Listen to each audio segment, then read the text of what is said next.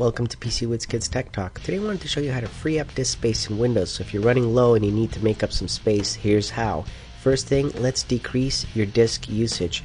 The recycle bin is a common place that people use up a lot of space on their machine. So right click on the recycle bin, go into properties, and then you'll see that there's an option for setting up one uh, option here for all drives.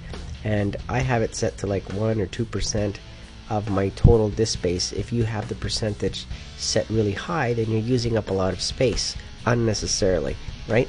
So lower that down.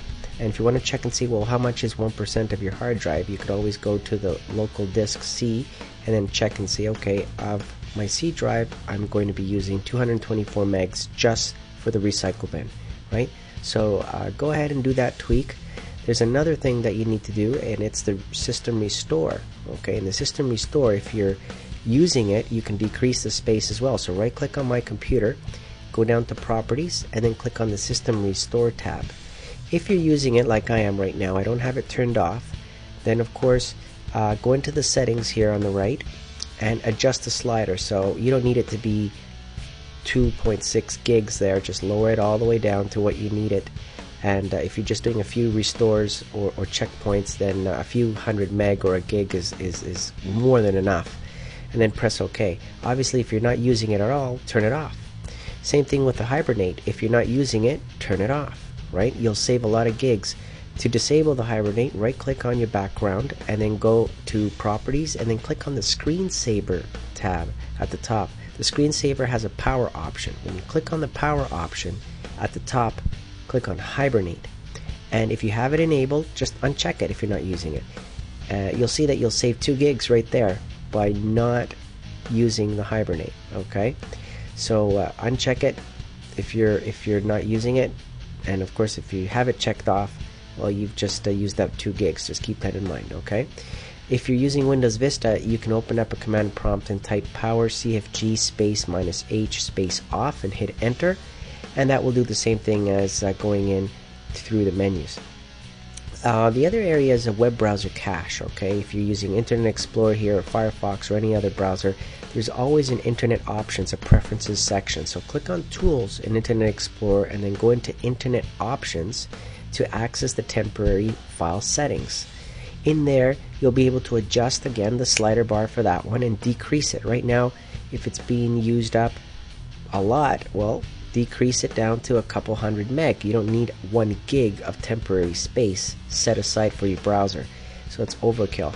So just uh, decrease it down a couple hundred meg and you'll save space right there. Okay, and I'm sure other browsers have similar options as well. Uh, another area that you can um, delete Windows files that are temporary is the following the C colon backslash Windows System 32 DLL cache. I'm in there deleting files right now, and as you can see, you can save a couple hundred meg no problem by just going in there and deleting those uh, temporary cached files. Okay, another area is C colon backslash te Windows temp. Okay, and in there, there's a whole bunch of files in there that you can delete no problem. Uh, obviously, some of those files are being used uh, at the time that you're using the computer, so you can't delete those. It won't allow you to. But look for um, dates of files that are really old in there that have never been cleaned up and just delete them. Uh, you don't need to worry about it. They're not being used uh, if they're really old. Uh, you can delete them without any hassle. If they're if they're new files, meaning that the date of those files are today's date, then obviously you don't want to delete those because they're being used by the machine. So you highlight them, press delete, let them delete them all. Okay, and you just saved yourself uh, depends, anywhere from a couple meg to maybe a gig. You never know how much temp files you have in there. Another area is the um, documents and settings, the administrator local settings temp folder. Okay, so that's a long one, but in there, there's also a lot of temporary files. Okay, and you can go in there also and delete everything that you can that's old. Okay, so just go by by the date of the files and just delete them. Okay. You can highlight a whole chunk, you can uh, sort it in, in Explorer, and then just uh, delete them accordingly that way. Okay, and that'll save again anywhere from a couple hundred meg to uh, maybe a couple gig. So at the end of the day, by doing all of these things, you could easily free up maybe 10 gigs of space just like that. The last thing that you can do is use the Clean Manager program that comes with Windows. So click on Start, then Run and type Clean MGR. That's one word, Clean MGR. That'll launch the Windows Cleaner. And basically, you'll be able to select your drive and then let it scan it and prepare to clean up files. And what it's doing is it's scanning and looking for temporary files as well and other things like that.